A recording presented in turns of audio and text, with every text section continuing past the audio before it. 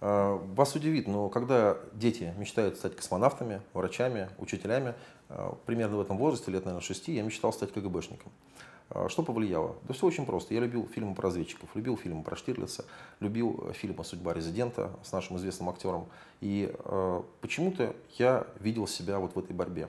И, собственно говоря, я к этой мечте шел всю свою сознательную жизнь. И уже окончив школу, я тогда еще учился, закончил десятилетку, я пытался уже узнать, как поступить в это высшее учебное заведение, которое называлось Высшая школа КГБ, но, к сожалению, туда не брали без армии.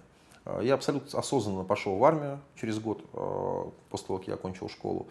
И придя уже из армии в 92 году, я поступил и исполнил свою мечту, хотя, бог свидетель, у меня никого в системе в этой, как мы помним, все-таки эта система, она тоже порождало некие элементы родственных связей. Да, если ты, у тебя папа где-то находится на хорошем руководящем посту, тогда, наверное, ты сможешь туда попасть. Но я смог попасть только благодаря своему усердию.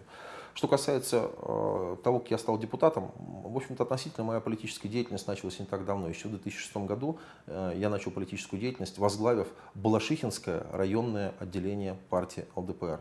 Но, наверное, наша партия ЛДПР это и отличается положительным образом в лучшую сторону от других политических партий тем, что если ты действительно хочешь работать, если в тебе есть какие-то задатки, и ты э, с высокой работоспособностью, тебе всегда дадут дорогу.